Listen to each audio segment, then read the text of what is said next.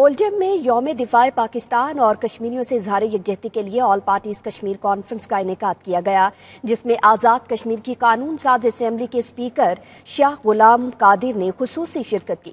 تفصیلات اعتزاز آسم چودھری کی رپورٹ میں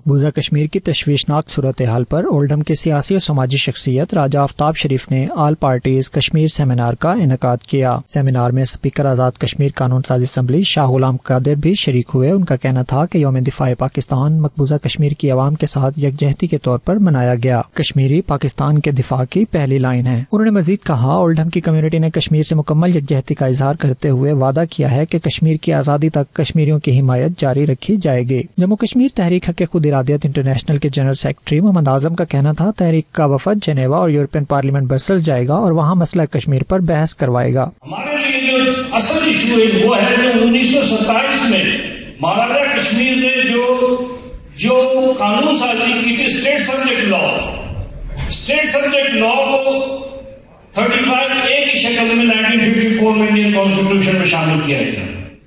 اور آج بھی آزاد کشمیر میں وہ ہمارے پاس وہ قانون موجود ہے اسٹیٹ سبجیکٹ لا جس کے تحت ہم کسی غیر ریاستی کو آزاد کشمیر میں ہم پراپرٹی خریدنے کی اجازت نہیں دیتے۔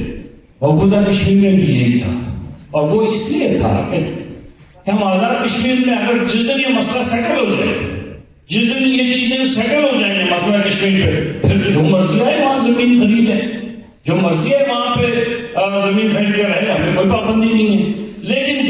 ڈسپیوٹڈ نیچر اس کا برقرار ہے ڈسپیوٹڈ نیچر پہ رہتے ہوئے اس کو کسی صورت کے اختیار نہیں دیا جا سکتا۔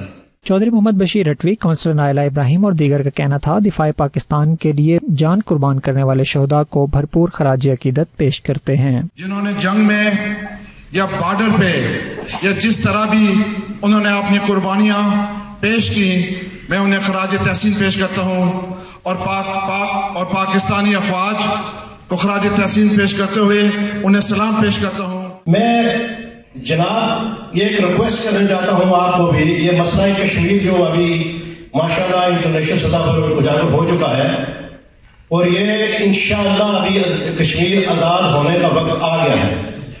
اللہ تعالیٰ نے کوئی ایسا سبق بنایا ہے، ایسی غلطی مودی سے ہو چکی ہے کہ اس کا کوئی حل نکلے گا۔ تقریب میں Raja Najabat Hussain council Atiq ur Rehman Pakistan consulate Manchester کی قائم مقام کونسل جنرل مسز فضا نیازی سمیت دیگر سیاسی اور سماجی شخصیات نے بھی شرکت کی۔ اعتداد نیوز اولڈ